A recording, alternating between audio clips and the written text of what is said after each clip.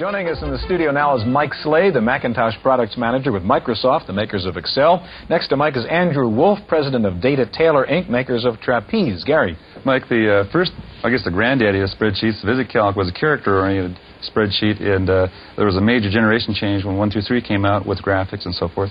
Now, is the Mac 2 going to be a, is that going to be a generation change also in spreadsheets?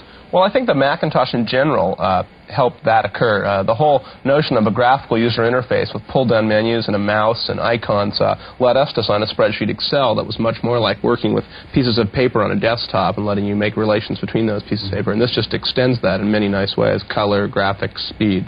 Uh, um, Andy, what are your thoughts on it? Well, I see the machine as allowing people to do things they have not been able to do before, work with larger spreadsheets, be able to calculate more complex models, mm-hmm. display more charts, and that is going to improve a lot of people's productivity. Okay. Now, Mike, you have a demonstration for of Excel you can give us, right? That's right. Good. Okay, uh, as you can see here on the screen, uh, Excel doesn't look much like a traditional spreadsheet. You have not one but several different worksheets open, and they look like different pieces of paper on your desk might. You can zoom the screen up and work with one or several sheets at a time and build formulas by pointing and clicking, scrolling around the worksheet just by using the mouse. Uh, it's very simple. It's a very large worksheet. It's very fast. It's very easy to work with. It's very easy, for example, to build relationships between worksheets just by pointing and clicking. I can take these two subsidiary spreadsheets and just paste in the names for them, and link them to this uh, total spreadsheet.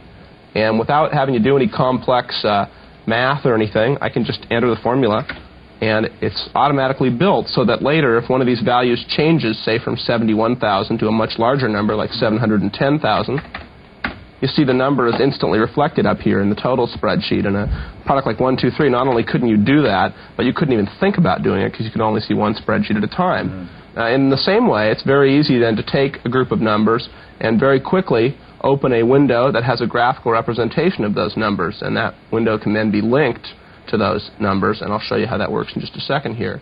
So you can see I have a graph now that rep represents those numbers, and if one of these numbers up here changes to a smaller number,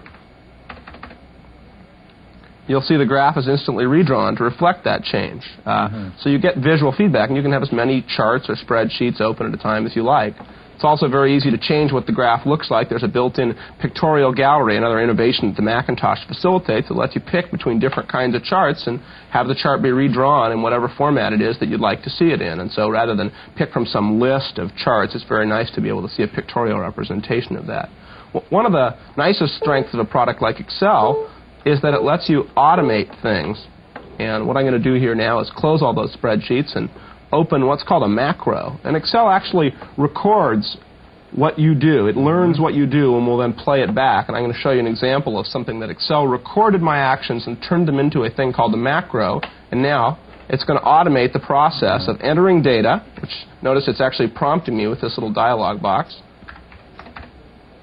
and then asking me to put the data in, and then it takes the data, reformats it, and puts up a chart window of the data without me having to do anything. And that's really what computing is all about. Okay, yeah, you didn't, you didn't have to write the macro. It wrote the macro following what you were doing Yeah, time, before right? I just uh, done those same yeah, commands yeah. and it wrote the uh, command language. You can write it if you like, but mm -hmm. it's mm-hmm. very simple to have Excel write it for you, yeah. and you can just go through. Uh, the new machine is going to give us opportunities to make Excel run in color and lots of things to expand the capabilities of it, but since we've introduced the product, we've just had a fantastic reception to it.